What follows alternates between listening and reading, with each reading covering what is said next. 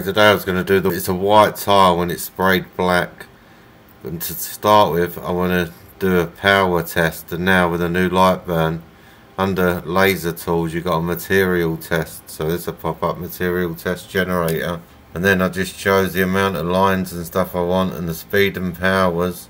I made it a little bit bigger. I've done a preview which gives me that. So now it's going to you know test these different speed and powers just so I can see what it does. So that's framed up in the laser, so I'm going to send that now.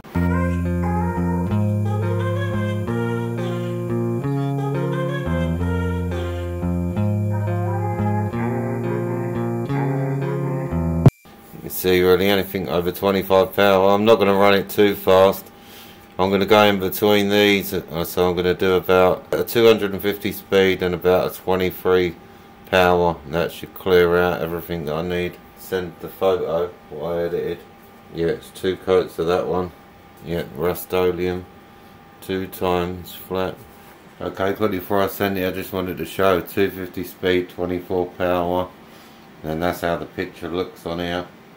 It's inverted, so I'm going to start that now.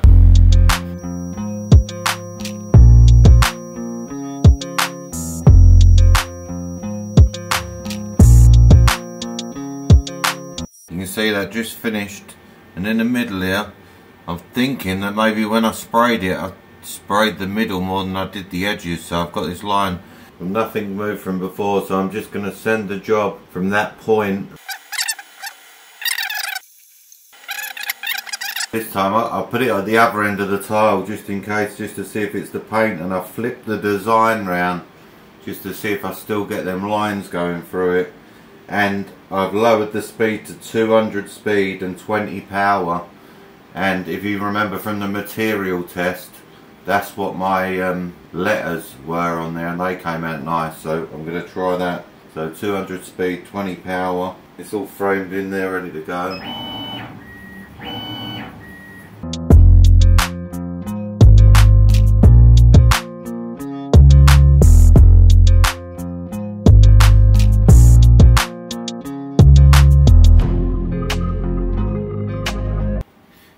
thinking, what I might do is just to see, I'm going to etch it one more time, starting from the top and come down.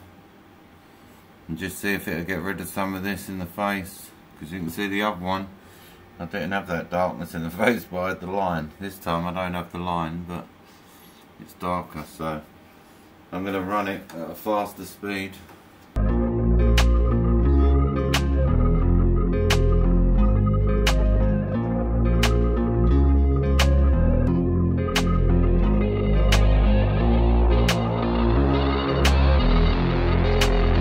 Okay, yeah, and you can see that pass worked perfectly. That's what I was hoping would happen.